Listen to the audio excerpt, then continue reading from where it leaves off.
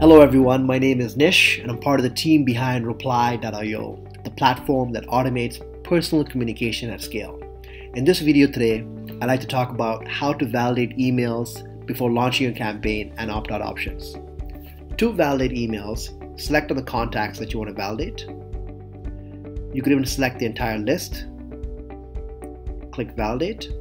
Once the validation sequence has completed, the notification center will alert you that it's done and it'll return either invalid, risky, or valid email. Now in regards to the opt-out section, click on the settings, email accounts, select the email account that you want to opt out, select on the opt-out text. As you can see, there's an example of how your opt-out text will look like in the end of the emails. When a person replies back to your email asking to unsubscribe, our system will automatically sort this email to the do not contact inbox category and set this prospect with opted out status.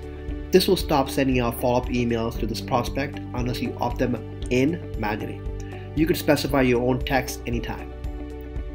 Now, if you chose the unsubscribe via link option, which means that it'll be added to your emails as well, and your prospects will be able to simply click on the link instead of having to reply with the unsubscribe. They'll be redirected to an unsubscribe page saying that they've been removed from your list. You can specify your own text for both these fields. Please note that the link and text in should be wrapped in curly brackets. If you don't want to have an opt-out link, simply leave all the fields blank. In order to comply with spam laws, we recommend that you have the opt-out option in your email campaigns. Thank you for your time. We know how important time is, and over a thousand companies use Reply to save them countless hours a week.